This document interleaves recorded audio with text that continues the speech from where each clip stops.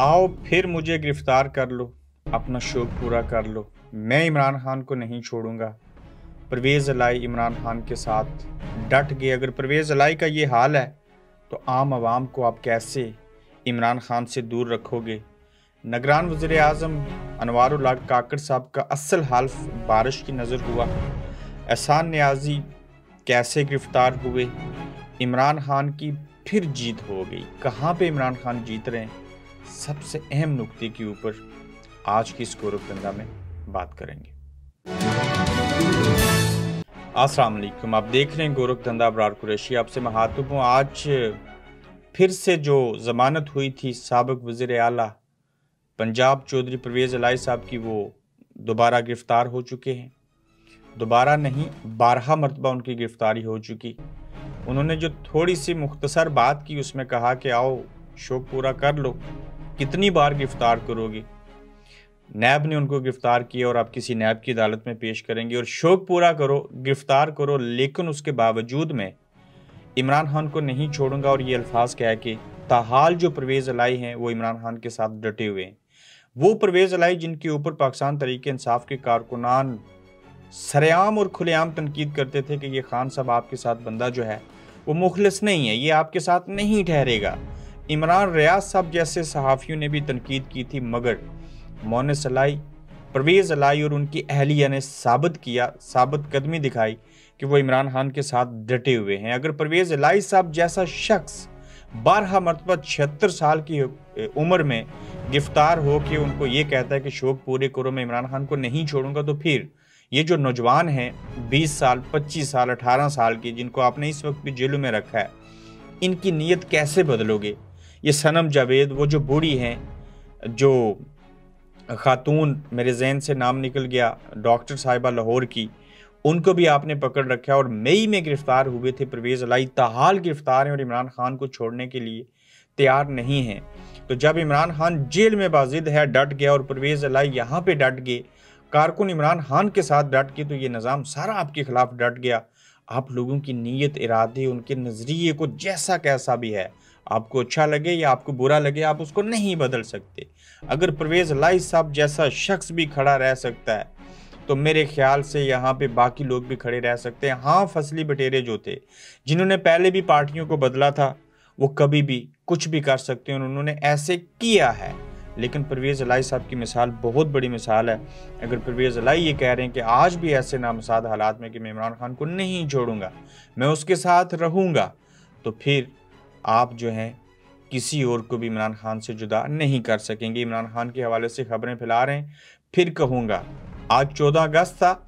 पाबंदी के बावजूद, गिरफ्तारियों के बावजूद, धमकियों के बावजूद, खौफ के साय के बावजूद लोग निकले बाहर। योम आज़ादी मनाने के लिए निकले। इमरान खान के झंडे लेके बाहर निकले। भले थोड़ी तादाद में थे, लेकिन इनको हज़ार से मल्टीप्लाई करना चाहिए।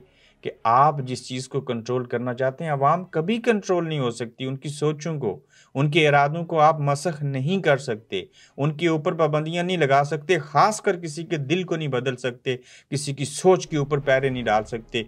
यही वजह है कि लोगों को पता है कि हम इमरान खान के साथ रहेंगे, इमरान खान का साथ देंगे तो बेहतरी आएगी। परवेज़ लाई को इल्म है कि मैं इमरान खान के साथ रहूँगा तो कल इसका रिवॉर्ड मिलेगा। अब आइंदा, पहले हम सोचते थे आइंदा की तो बात बात में करते हैं कि शायद परवेज अलाई दोबारा से वजी अला ना बने या मोनस अलाई ये बात तय हो चुकी कि जो इमरान खान का फार्मूला है, ये एक सीट भी जीत के ना आए।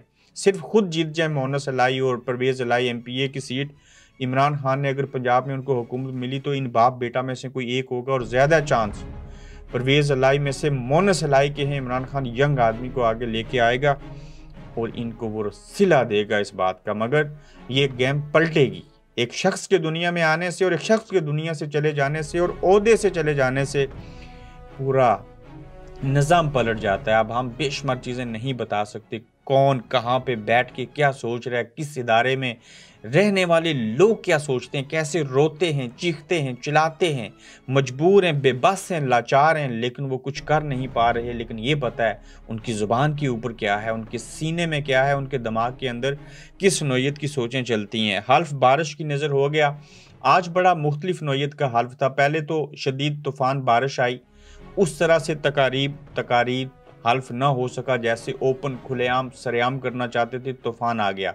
अल्लाह का निज़ाम है, आ सकता था, फिर अंदर हल्फ हुआ और वज़ीर, सॉरी, सदर पाकिस्तान ने बड़ी अच्छी तकरीर की, कुरानी आयतें पढ़ी, खौफ दिलाने की कोशिश की, इंसाफ करने की बात की और पता चलता था, ये आरफ अलवी कम और इमरान खान जो हैं वो ज़्यादा बोल रहे हैं।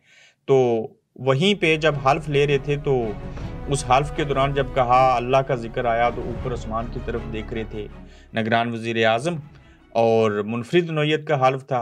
अंदर जाके चीज़ें करनी पड़ी और बारिश ने उनकी कुछ जो ख्वाब और ख्वाहिशें थी, उसके आड़े आ गई बारिश और वो चीज़ें बाहर कहीं खुलेआम और सरेआम और बड़ा इज्तम ना हो सका।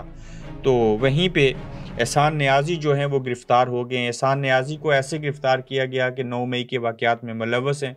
इन्होंने एक तकरीर की थी लोगों को तैश दिया था। हाँ अपने लीडर को अपने मामू को अपने कायद को बचाने के लिए उन्होंने लोगों को कहा था बाहर निकलो आप नहीं निकलोगे तो कब निकलोगे? ये कोई गलत अल्फाज हैं। उन्होंने तो कोई वहाँ पे हमले नहीं किए इमारतों के ऊपर। जिन्होंने किए उनको बिल्कुल सज़ा मिलनी चाहिए मजामत करते हैं उस चीज़ की। तो ये रपोश हो गए थे आ, किसी सरहदी इलाके में थे वहाँ से इनको गिरफ़्तार किया गया है। इनके जो अब्बा हैं ऐसा उनका जो नाम है हफीज़ुल्ला न्याजी, वो आप क्या करेंगे? इमरान खान की बहन का बेटा है, उनकी वो क्या बहन क्या करेंगी? माँ क्या करेंगी? लेकिन असानुल्ला न्याजी बड़े मज़बूत हैं। उन्होंने कभी आपने सगे बाप की नहीं मानी? किसी और के कहने के ऊपर क्या उनकी उनका नज़रिया और उनकी सोच क्या लड़खड़ाएगी? तो आखिरकार एहसान एहसानुल्ला न्याजी भी गिरफ़्तार हो हो चुके हैं। देखते हैं कि ये जब इमरान खान को गिरफ़्तार कर लिए तो वहाँ पे एहसानुल्ला न्याजी की गिरफ़्तारी क्या मनी रखती है? सोचें, नहीं बदलेंगी। इमरान खान नहीं लड़खड़ाएगा। अटक जेल के अंदर है, रहेगा। सोशल मीडिया पे तूफ़ान देख लीजिए, लोगों की नीतियों और इरादे देख लीजिए। सर्वे हो रहा है। कल शुरू हुआ था, आज भी जारी है। आज भी इमरान खान जो है वो अस्सी फ़ीसद आगे हैं। लोग मिनतें और तरले कर रहे हैं और चैलेंज कर दिया मंसूर अली खान को कि खुदारा, इस सर्वे को आपने डिलीट नहीं करना और आपने आपको अच्छा सहाफ़ी साबित करना है।